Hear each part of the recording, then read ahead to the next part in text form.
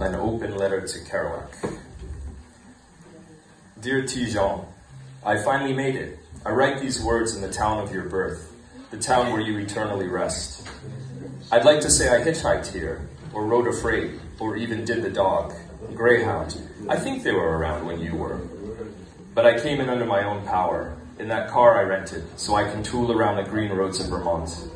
Even my lodging feels a cop out. I struggled with staying in one, in some Fleabag digs closer to your spirit, but settled on a large, comfortable place vivisected from the carcass of one of those old riverfront mills you successfully escaped lifetime employment in.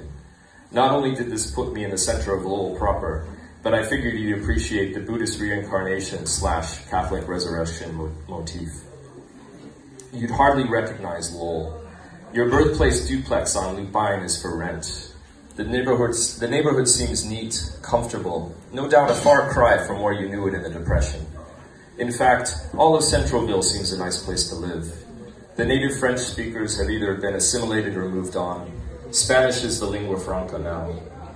In fact, St. Louis Church seems a misnomer. San Luis would be a better fit. The house where you lost Gerard has a nice, cheerful flag out front. A boy was playing nearby. He looked about nine.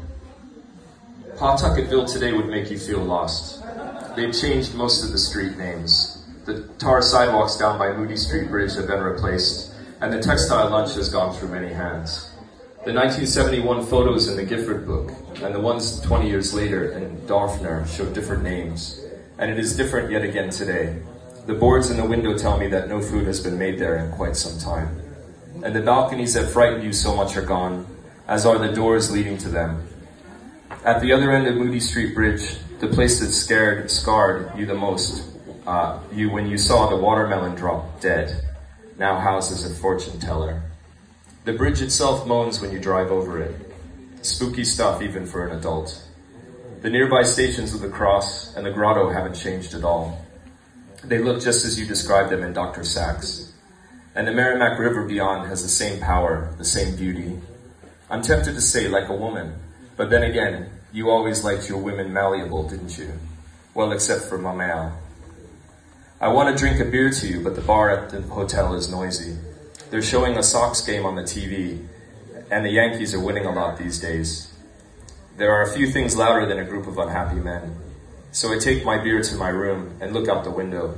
The warehouses are slowly darkening red, and the old neon sign came over on the news. New, sorry, the newspaper. Uh, sorry, the warehouses are slowly darkening red, and the old neon sign came on over the Sun newspaper building. It looks like it was probably there when you were writing for them. And the horizon is all aglow now, revealing only the old things, the steeples and the smokestacks that one, once gave this town life. It's morning now at Ti Jean. I walk the red downtown streets.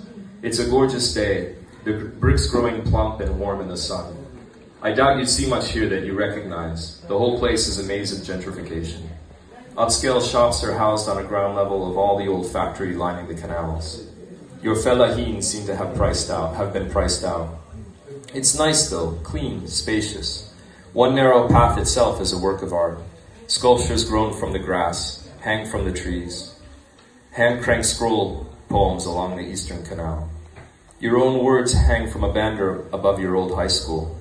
The clock where you wrote about waiting for Maggie Cassidy still hangs out front. But the hands are frozen at a time that's no longer there. I walk the bricks, walk the bricks. I'm desperate for pancakes, but can't find any in the modern cafes. I'm about to give up, but then I spy Paradise Diner near the tracks.